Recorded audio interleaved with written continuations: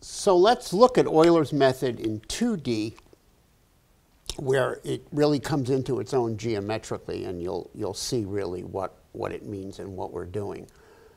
And the basic idea is we're going to have a curve and that is the one true curve that exists and which in the case of the shark tuna there is no formula for. There's only the differential equation. And that's going to produce some kind of trajectory. And then starting from an initial condition, we're going to take the little tiny step that is Euler's method, which is taking the change vector and multiplying it by a very small dt. So this change vector is going to be the change vector s prime t prime that is appropriate at that point. And then the little blue segment is S prime T prime times delta T.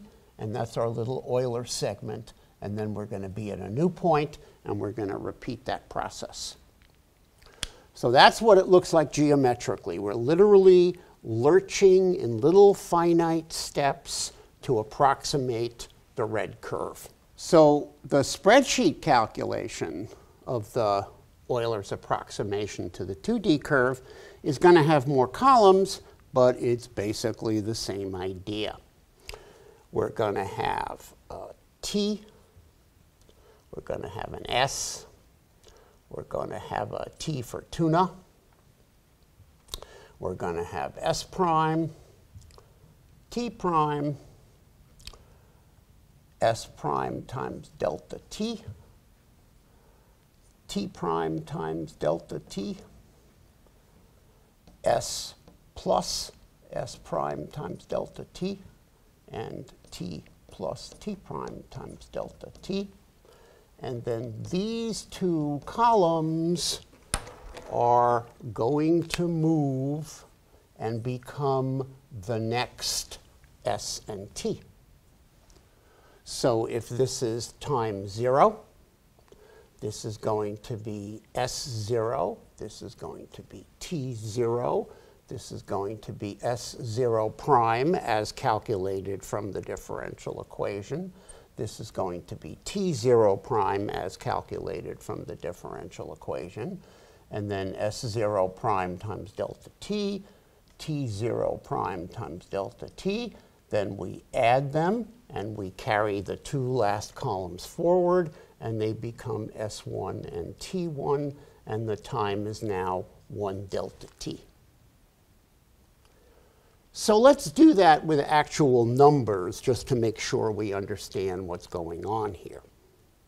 So let's do some actual numbers just to make sure that we understand what's going on here. At time zero, I'm going to take, uh, I'm going to start from the point 2 comma 3. So that's ST is 2, 3. And now the vector field is going to give us S prime T prime. So S0 is 2, T0 is 3. What is S prime? S prime is ST minus S. That's 2 times 3 minus 2, that's 4. t prime is equal to minus st plus t.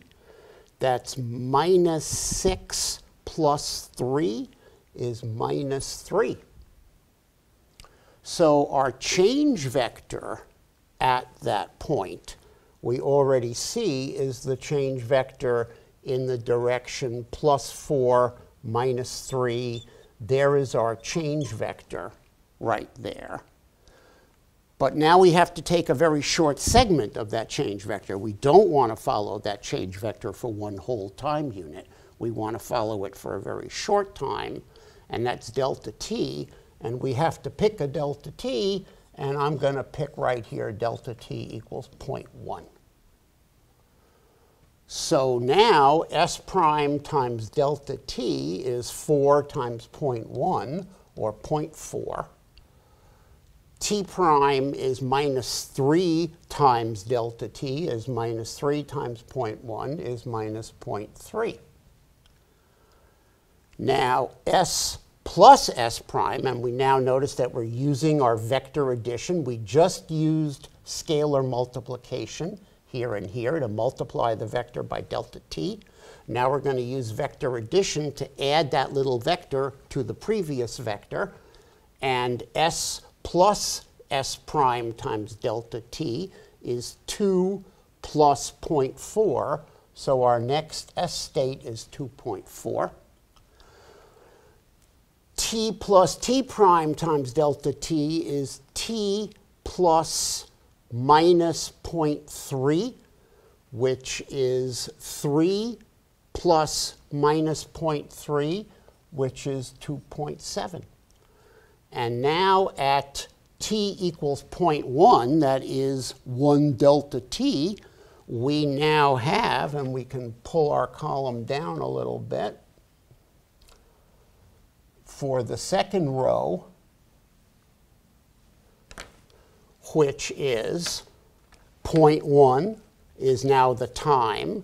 The new s value is the old s plus s prime times delta t, so the new s value is 2.4. The new t value is 2.7.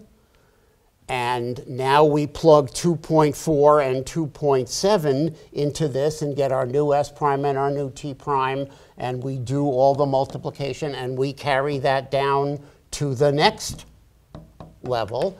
And in that way, we, with, with this spreadsheet method, we generate as many steps as we need.